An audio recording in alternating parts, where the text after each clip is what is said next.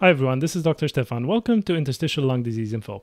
In this video, I'd like to maybe tackle a little bit uh, the topic of dubious health claims that are affecting the field of interstitial lung diseases and pulmonary fibrosis, i.e., my field.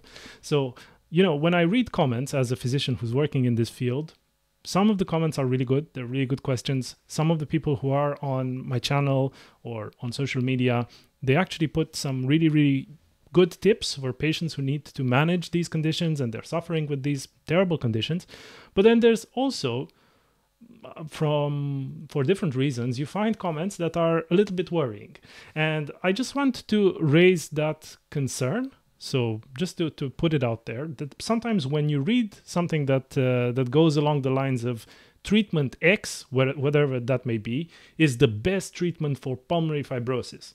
So if you're reading that and there was a comment recently that I got on my channel, which was that a specific treatment X, let's say, was the best treatment for removing pulmonary fibrosis, but also fibrosis from the lungs, breast, and uterus. So when I see these claims as a doctor, I my alarm bells, my red flags just come on because these are comments that are either made for for good reason by people who maybe have tried something and they've had a good result but i think in many cases it's people trying to sell you something. So just be mindful. It could be for good reasons sometimes because people maybe are, don't understand the topic very well and they're just trying to help with whatever information they've come across. Or maybe um, they just don't see the nuances and how different people respond to different treatments in different ways.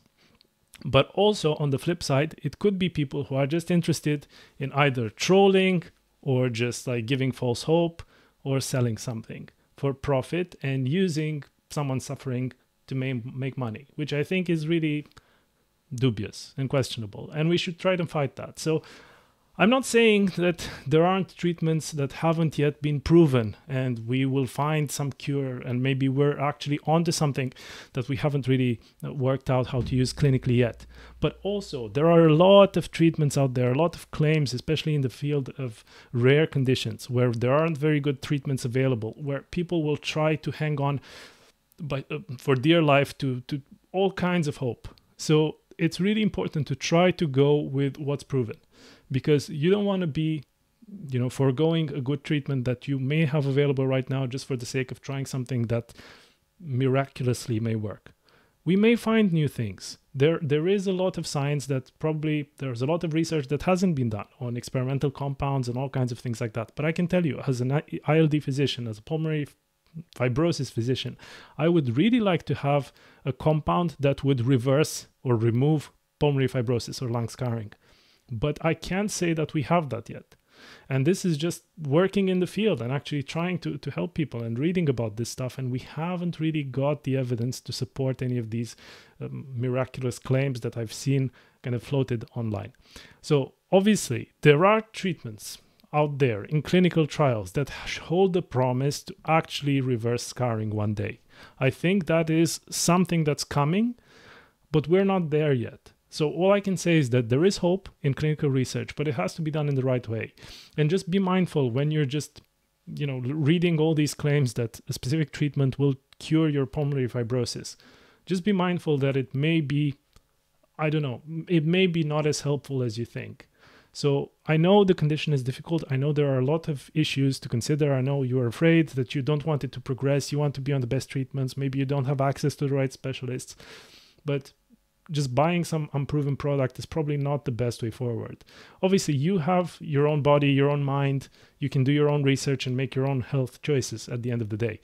All I'm saying is that just be mindful. Is if something looks too good to be true just try to use your common sense and maybe consider that it's not as good as claimed.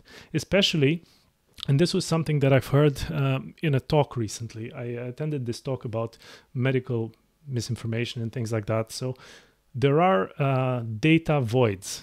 so there are there there are these things, and I, I, think that was the word data void. I'm not sure if it was another word actually, but uh, that was used. But basically, there are these uh, products that have appeared online, and all the information that you can see on the, those products is basically positives because no one is out there to criticize them.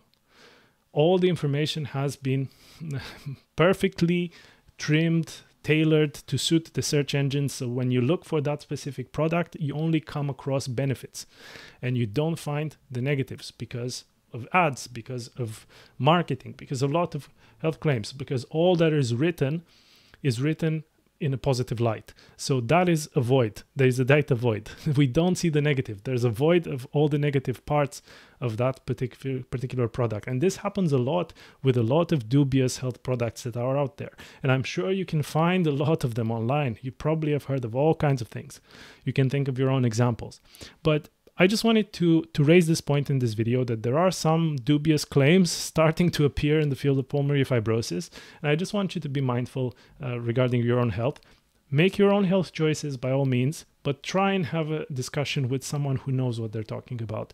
Maybe have a discussion with your pulmonologist, with your family doctor, with someone who can help you put everything in the right context because it's important to maybe have a second opinion sometimes especially when you're trying some kind of a risky therapy. That's all for me in this video. Hope it was helpful. And as as always, please leave a comment in the section in the comment section below, and I'll try my best to, to create more content to fill the data voids related to ILD and pulmonary fibrosis. All the best and good health.